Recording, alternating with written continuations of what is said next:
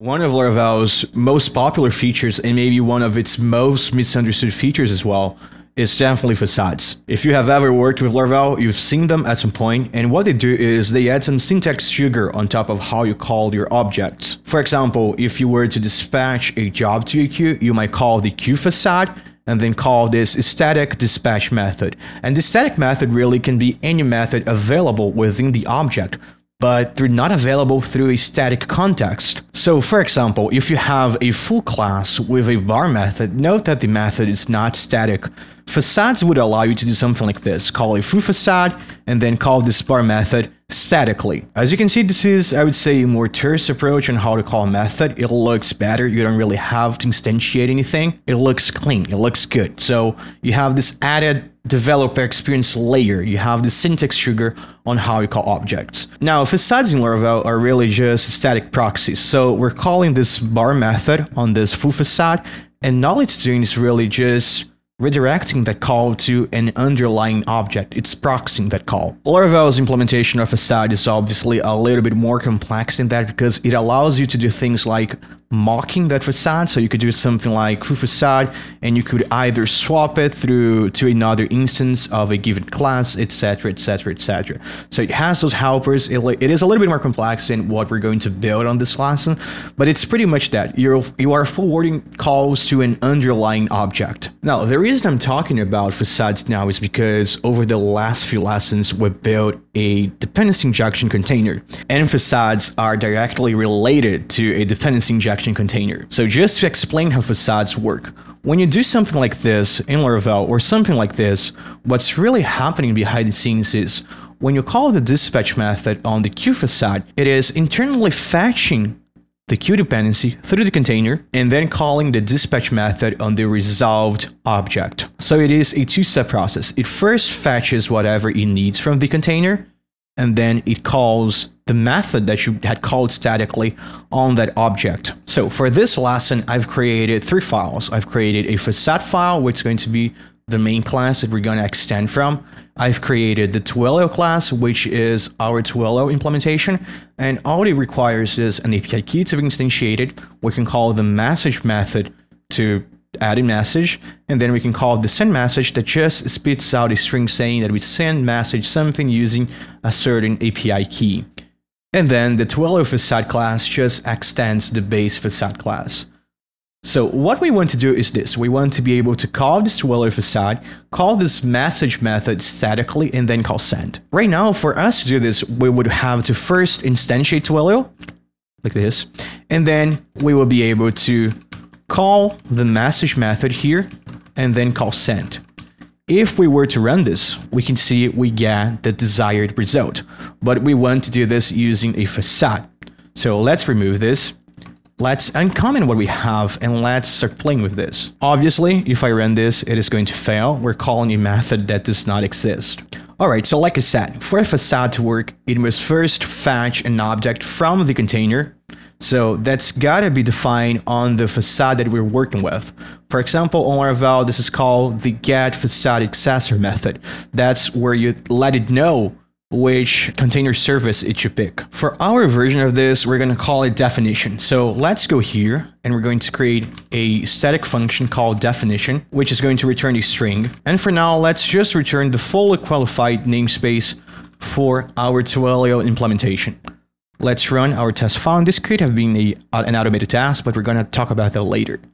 So we're still get the same error because we really haven't, actually this method does not exist on this Twilio facade object. When you're dealing with facades, not, none of the methods you call really exist. They're all static proxies. So for us to implement this, we're going to use a PHP magic method called call static. If you don't know what magic methods are, I highly suggest you look them up on the documentation. Let's create a static function called call static. And this method expects two arguments. The first one is the method we're calling, sorry, and then the args like this. And what this does is every time that we call a static method that does not exist within the class, it's going to fall back into this method. So for example, let's do a var dump. We're gonna dump the method and then we're gonna exit. Let's see what happens. All right, so we see that we got the message method call. Since it doesn't exist within this class, it is going to be redirected into this function, this method, and then we can do whatever we want with it. All right, let's get rid of this. So what do we want to do? We want to fetch something from the container, and then we want to call a method with the arguments we were given. This is pretty simple, right? If you've seen the container lessons, you know how to call the container. So we could say like container is going to be container get instance. So we now have an instance of the container. To fetch the object, we're going to call it resolved service.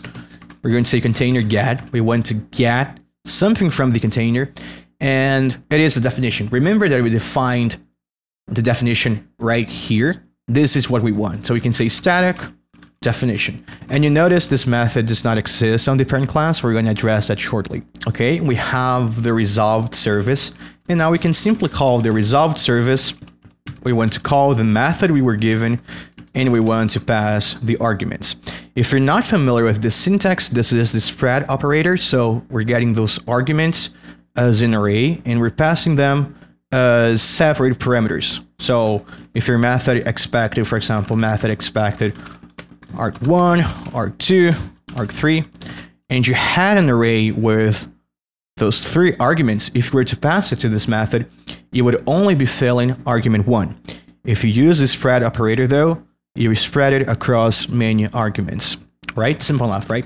Let's try this. Hmm.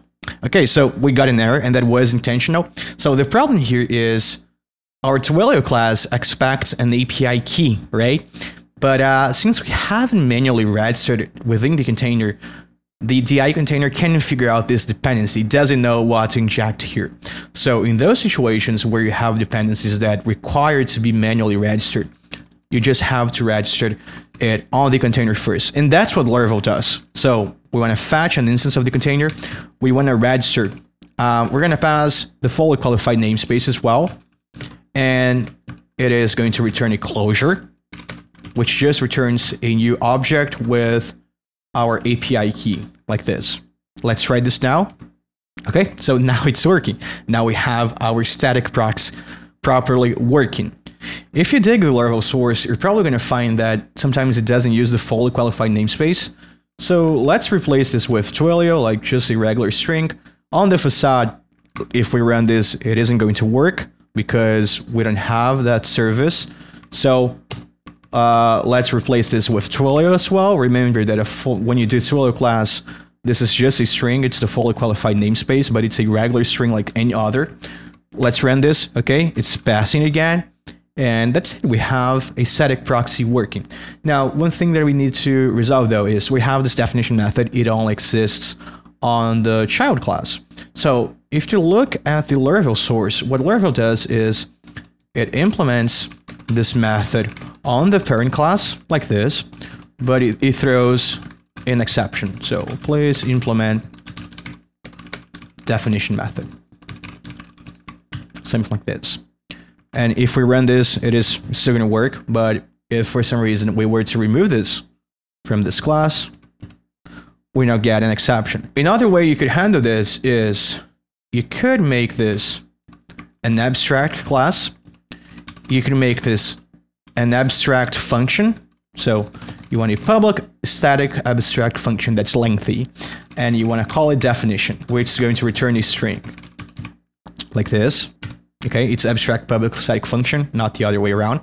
And then on your child class, if I were to remove this, PhpStorm would complain that I'm missing um, one of the methods that need to be declared. So if we add this again and we run it, it's working. If we remove it, we get uh, a fatal error because we're extending an abstract class that requires us to implement this definition method, but we don't really have it. With that said, let's uh, revert to the other implementation just to be close to Laravel. Let's inline this. Thank you, PhpStorm, to keep things simpler.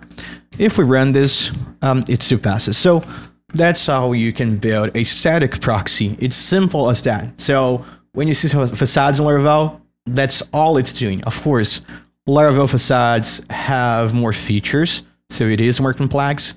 But when you call, for example, buzz q or q something, that's all it's doing. It's fetching an object from the container and then calling the method that you called statically a syntax sugar as a regular object method call. Okay, I hope this video was helpful and make sure to leave a like, leave a comment if you have any doubts or any suggestions of content. Also make sure to drop those in the comments and I see you guys on the next video.